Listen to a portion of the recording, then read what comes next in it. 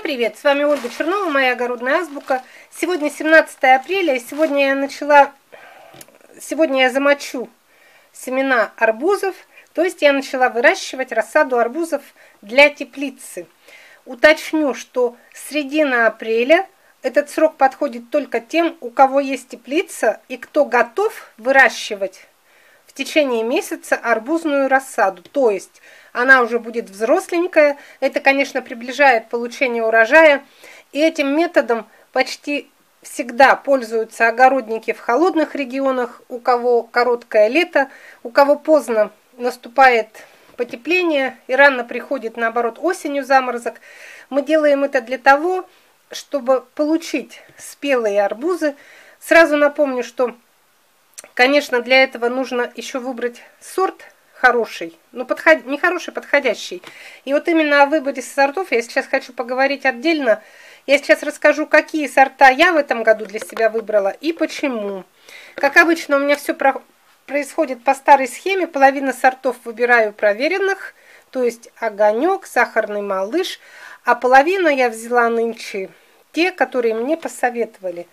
Сразу вот тем, кто ни разу, возможно, не выращивал, могу сказать, что один и тот же сорт может быть у вас в разных пачках под разными наименованиями. Вот смотрите. Арбуз Sugar Baby раннеспелый. Арбуз Сахарный малыш ультраранний. И арбуз Sugar Baby Сахарный малыш в одном... Короче, это одно и то же. Один производитель указывает Sugar Baby, другой Сахарный малыш.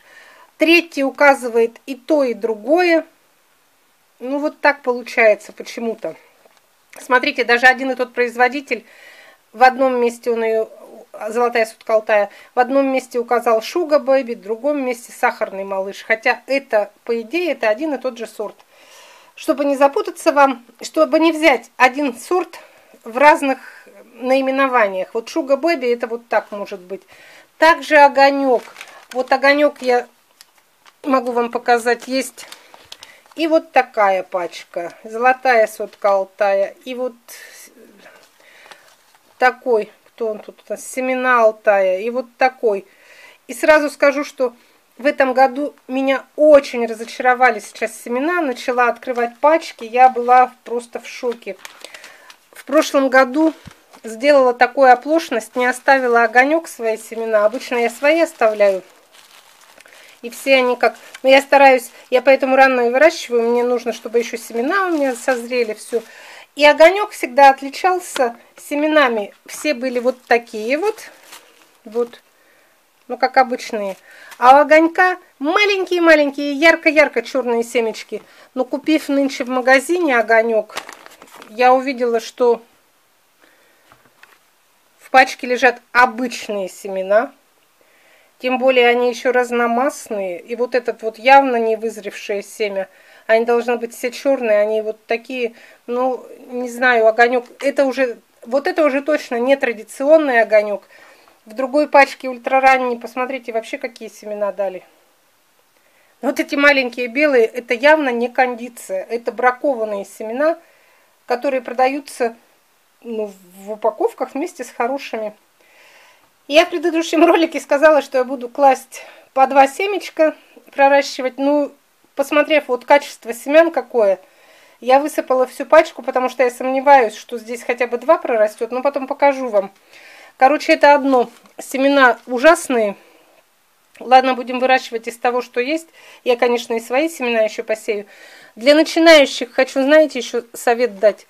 Если вы ни разу не выращивали арбузы. Если вы не знаете, что с ними делать, вы при покупке постарайтесь взять сорт, на котором более подробная инструкция по выращиванию. Вот, например, вот этот скорик, тут написано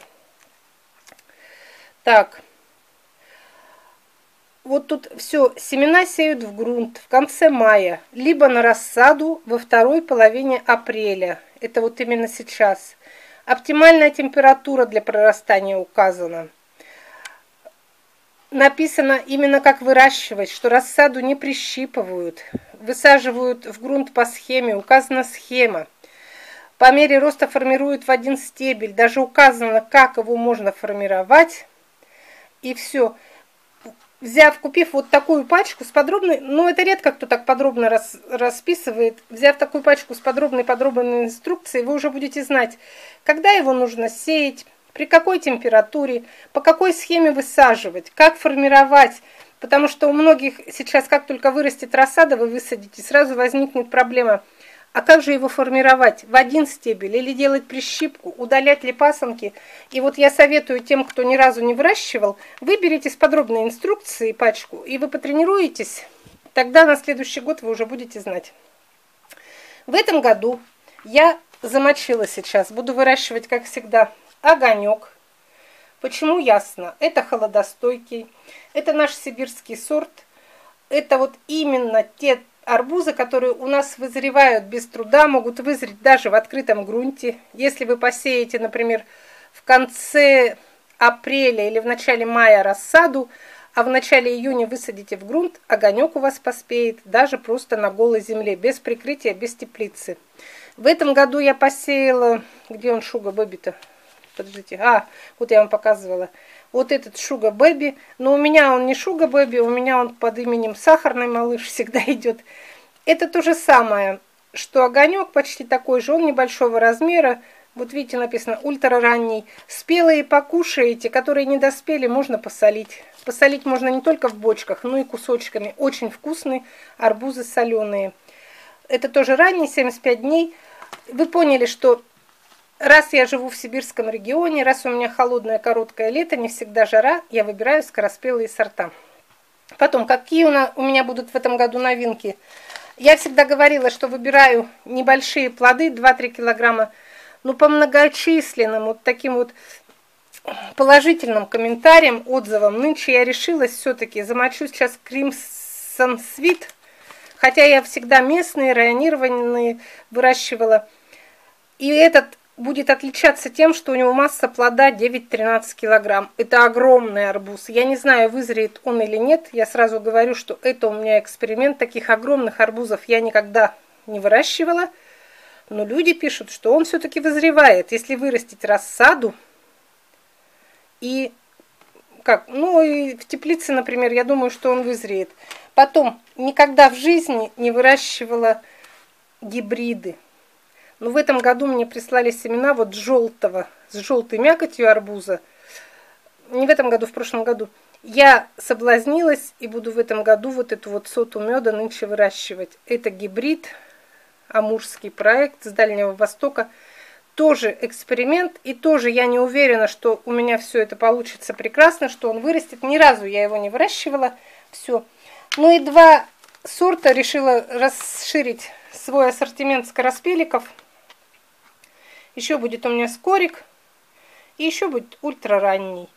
Естественно, вот на эти сорта, на огонек, на шуга бэби, на ультра ранний, на скорик у меня вся надежда, потому что большой Crimson Sweet то ли он вызреет, то ли не вызреет, а вот эти скороспелочки, они у нас безотказные. Они хотя бы, пусть даже не весь урожай, но первые плоды, вот первые один, два, мы всегда снимаем спелыми, они сладкие, они ароматные. Пусть они небольшие, 2-2, 2,5 килограмма, но они такие же вкусные. Еще хочу сказать, вот специально выложила холодок. Например, холодок. Написано среднепоздний сорт для выращивания в пленочных теплицах и в открытом грунте, но в южных регионах. Если вы купите вот такой, например, томат-холодок, то сразу будьте готовы, что он у вас может не вызреть в открытом грунте – Потому что в инструкции написано, что он, во-первых, среднепоздний, он не и не ранний. И для выращивания именно в южных регионах в открытом грунте. Но это зависит от лета и от погоды. Иногда бывает, вызревает и холодок. Я знаю, у нас есть в пригороде фермерское хозяйство, которое выращивает холодок. Но они всегда ждут самого-самого последнего вот такого срока, что он созревает самым последним. И иногда получается такой год, что морозы уже ударили, а холодок еще не вызрел, ему не хватило времени. Так что со среднепоздними сортами я бы не советовала вам начинать, вот кто первый раз высевает, лучше начните со скороспелых и с ранних. Все, я рассказала, какие я буду нынче выращивать. Огонек, сахарный малыш, гибрид сота меда, Crimson Sweet, ультраранний и скорик. Но еще, если бы было место, я бы добавила сюда и вот сахарный карапуз. Вот такие типа, вот есть скороспелый сахарный, сахарный шар. Вот все эти небольшие сладкие, вот сибирские огни, тоже, тоже до 5 килограммов, он тоже у нас вызревает. Вот смотрите, какая красота. Медовый гигант. Но для того, чтобы выращивать много арбузов, нужно большой участок. У нас на 6-7 сотках сильно не разгонишься. Еще нужно выращивать дыни. Про дыни расскажу отдельно. До свидания. Все, с сегодняшнего дня, с 17 апреля, у меня начинается выращивание рассады арбузов. Если кому интересно, по лунному календарю самые благоприятные дни в апреле 16, 17 и 29, 30. В эти дни могут замачивать, начинать выращивать арбузы те люди, которые строго соблюдают лунный календарь.